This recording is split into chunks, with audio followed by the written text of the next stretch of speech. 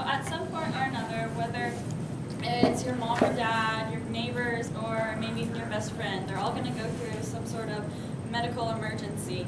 And uh, maybe you're home alone with your younger sister and she cuts her finger really deeply and she's in a state of shock and panic and no one knows what to do. So uh, first aid courses are offered in many communities and some of you may have even taken locally. And uh, many job places nowadays will require you to have some sort of certification for first aid and CPR. So having, knowing what to do and how to respond in an emergency situation is a critical skill to have.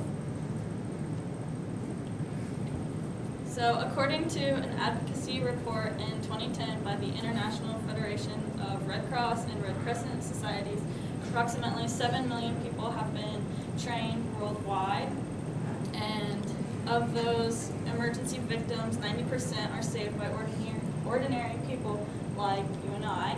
So uh, the British Red Cross states that if a first aider is able to provide details, such as any changes in conditions or consciousness, pulse rates, this can prove vital to the emergency responders that are called out to that scene. And some common emergencies you may uh, see are head trauma, cardiac arrest, as well as excessive bleeding. So, uh, brain injury occurs when the head is subjected to significant trauma or force. And statistics from the Center of Disease Control and Prevention uh, says that about 1.7 million people worldwide uh, are uh, they end up with traumatic brain injuries, and of those, 32.5% of those come from falling. So, like in workplaces, falling off ladders or just slipping. And the first aid for that, um, you can't change the severity of the injury that they have sustained, but you can do simple steps to help them and their chances of survival, like calling EMS, you're going to stabilize their head, and uh, in the event of a seizure, you're going to just protect them from objects nearby.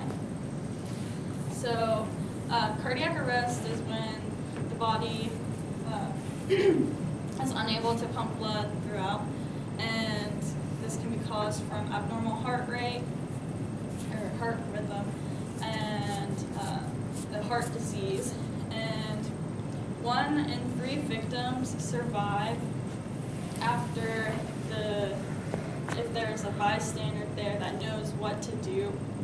So it could be saving someone's life. Um, the simple steps for that are going to be calling EMS, perform chest compressions, and use the uh, automated external defibrillator. And so that outcome is double or triple their survival chances. And excessive bleeding.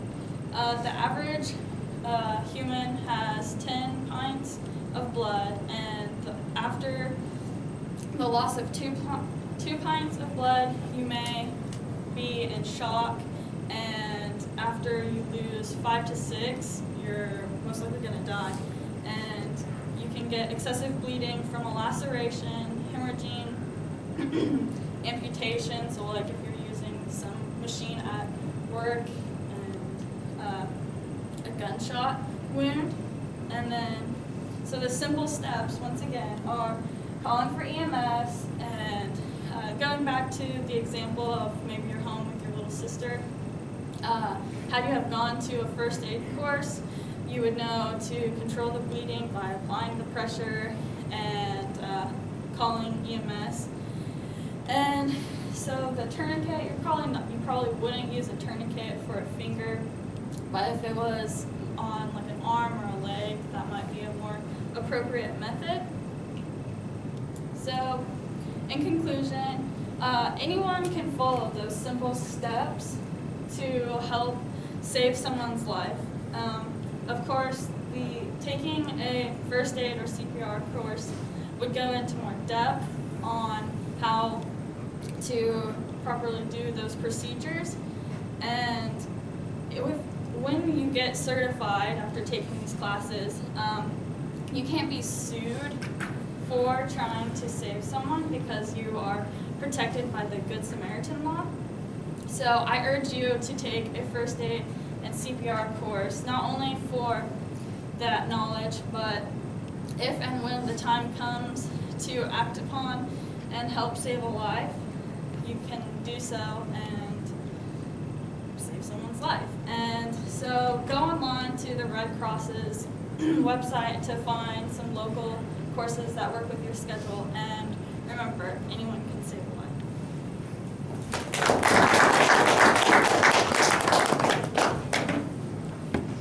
All right, thank you, Anna.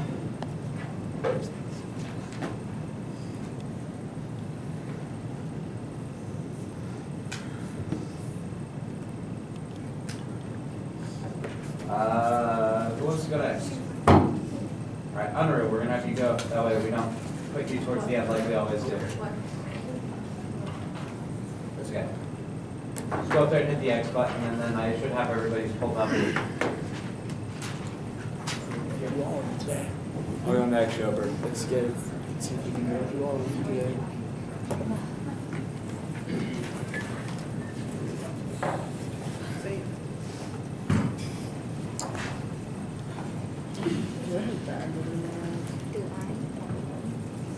Like Walmart bags?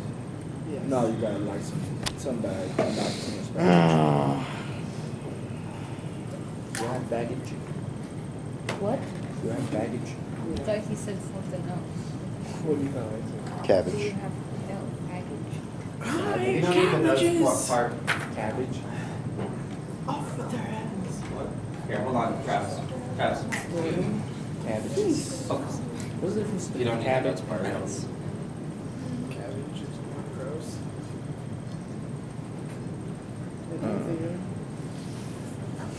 More gross than healthy.